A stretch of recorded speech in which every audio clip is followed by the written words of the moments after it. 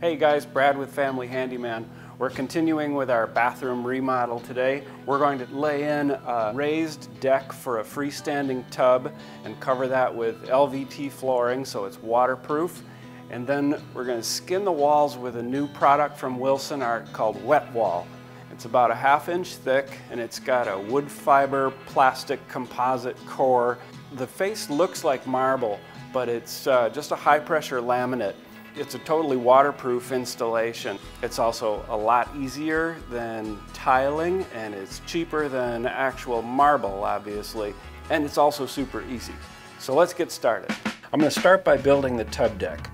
So build the floor deck using 2x4s, 16 inches on center, as if you were building a stud wall.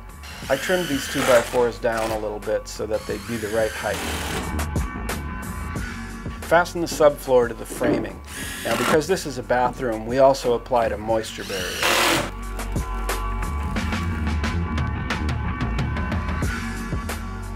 So we're ready to start laying the flooring and what I'm going to do first is lay it out across here just in case I have to trim the first piece so that when I end up over at the shower I don't end up with a skinny piece there.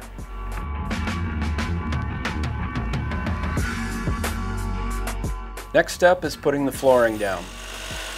Install the LVT flooring starting in a corner of the room. This floating, click-together LVT installs quickly and easily, no glue and no nails or staples. Next, apply stair nosing to cover the edge of the deck flooring. Then, apply flooring to the front face of the tub deck using construction adhesive. All right, so we got the tub deck done. Now it's time to start with the wet wall. And we don't even need any fasteners for that at all. We just apply it with this special adhesive. The tongue and groove joint on these wet wall panels makes them come together really nice and uh, leave an almost invisible seam. This will give us the look of marble without the cost of marble. Next, clean the back of each panel as well as the wall itself. Apply adhesive to the back of the panels according to the manufacturer's recommendation. To install the panels, press the first panel into place. Apply a bead of color-matched seam sealer to the tongue on the panel, then apply adhesive to the back of the next panel and install it.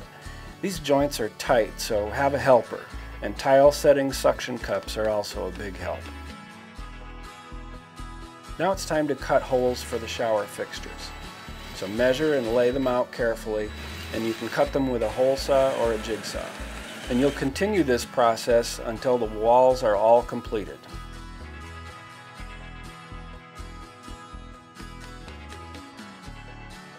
To finish up, apply a bead of seam sealer to the corners where the wall panels meet.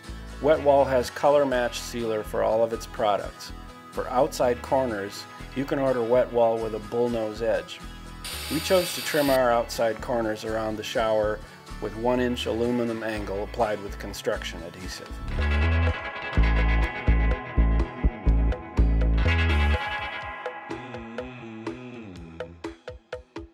All in all, I think we've created a pretty relaxing space here.